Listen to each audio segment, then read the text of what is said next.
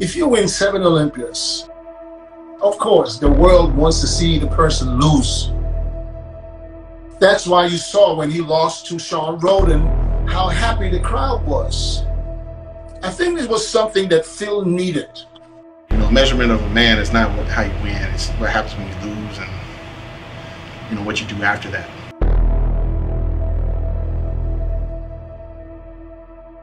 I think we're going to see the best Phil Heath ever.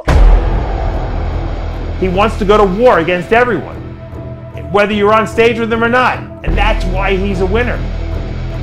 Because he has that killer mentality inside, that killer instinct that enables him to focus in on someone and go after them. Because that's what he does. He's a hunter. And he's not going to let anyone else hunt him. And to the fans, I told you I never retired. I kept telling you guys that I'm back. There was fucking unfinished business to take care of. Simple as that. This is it. All the blood, sweat, and tears, man.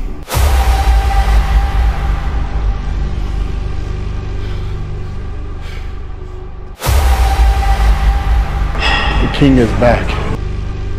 And show the freaking world how great I am. Hold it. Slow, slow, slow. I'm gonna help you one. Help you one. Down. Slow, slow, slow. One more, just like that. Eccentric. Down. Slow, slow, slow, slow. Two. Good. Come on, pause, pause.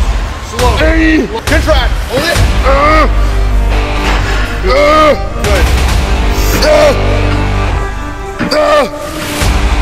Hold it.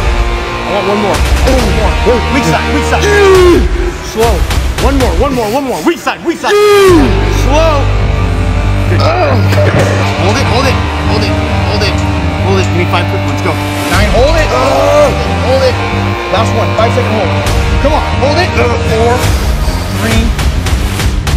Um, It's showtime, man.